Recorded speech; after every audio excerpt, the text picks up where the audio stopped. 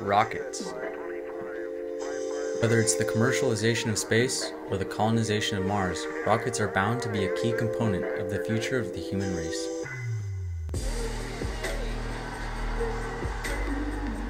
In this video, I will be teaching you about the fluid dynamics behind the de Laval nozzle. So let's get right into it.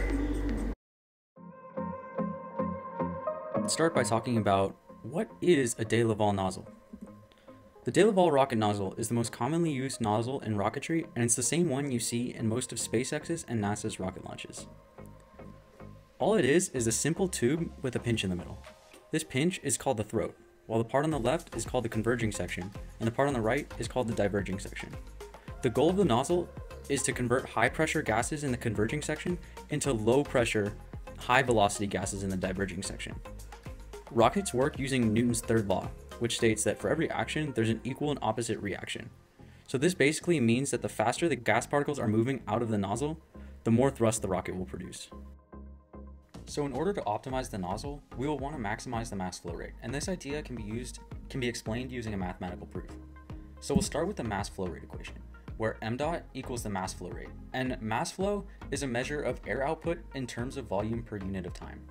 And I don't want you to get this confused with gas velocity, because unlike gas velocity, mass flow rate does not change because of the conservation of mass. And so R is the gas density, V is gas velocity, and A is the cross-sectional flow area. And if you can imagine taking the cross-section of a cylinder, it would be a circle. And a De Laval nozzle is essentially a cylinder, so the cross-sections would be circular. So in order to maximize mass flow rate, we're going to want to take the derivative and we can use chain rule to get derivative of mass flow rate with respect to time equals the partial of mass flow rate with respect to gas density times derivative of gas density over um, change in time plus the partial of mass flow rate with respect to velocity times the derivative of velocity with respect to time plus the partial of mass flow rate with respect to cross-sectional flow area times the derivative of cross-sectional flow area with respect to time. So we can evaluate these partial derivatives and we get the following equation. So this equation can be simplified by multiplying dt to both sides.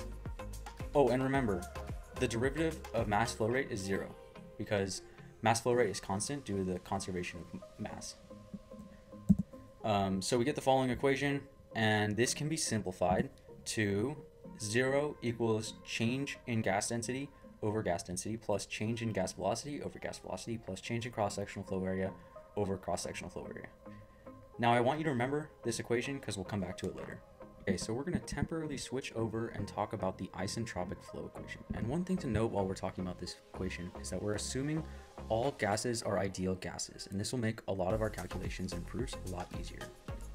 So the isentropic flow equation is change in density over density equals gamma times the change in gas density over gas density. So gamma is the ratio of specific heats and is also known as the isentropic expansion factor. So the ratio of the specific heats of the gas is at constant pressure and constant volume. Um, I wouldn't worry too much about that as we're going to substitute it out of the equation pretty quickly. Um, so we can rewrite this equation by multiplying p to both sides. And then we can use the equation of state, which is density over gas density equals R, which we all know from AP Chem to be the, the universal gas constant, which is 8.31 joules per mole Kelvin um, times the temperature. So we get, um, sorry, we get change in density equals gamma times the universal gas constant times temperature times change in gas density. Then we can use the speed of sound equation, and we know the speed of sound is a constant, which is 343 meters per second. And the speed of sound squared equals gamma times r times t. So we get change in density equals speed of sound squared times change in gas density.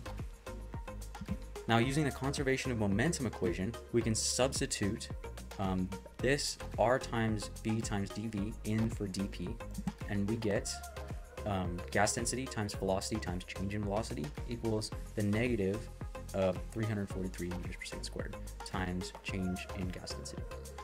And we can rewrite this and isolate the gas densities on one side, which will help us. Follow me over to this side. Um, we can substitute the equation for Mach number, which is Mach number equals velocity over speed of sound. So if if something has a Mach number of 1, that means that the velocity is at the speed of sound. So we get negative Mach number squared times change in velocity over velocity times change in gas density over uh, gas density.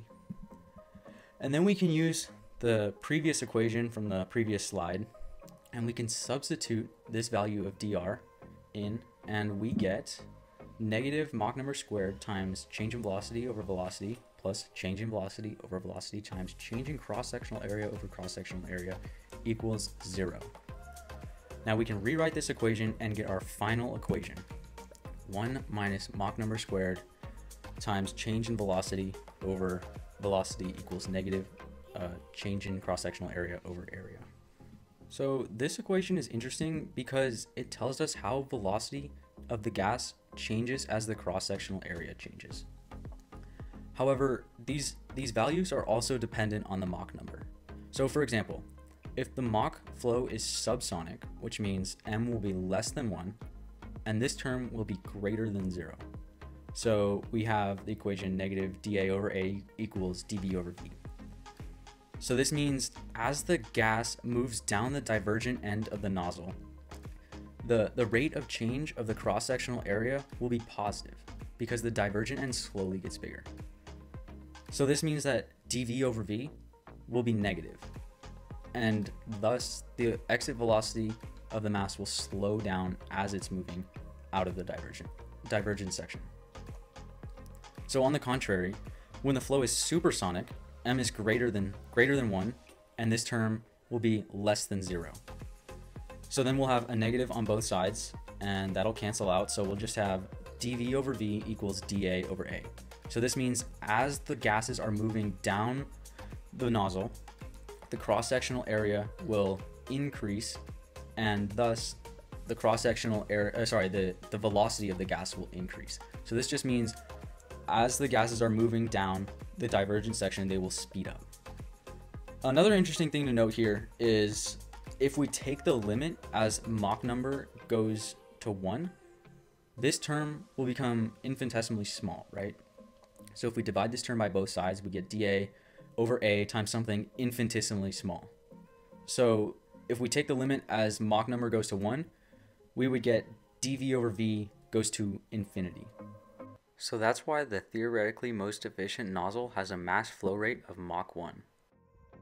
If you are interested in this topic and would like to learn more, please check out my paper for an in-depth analysis.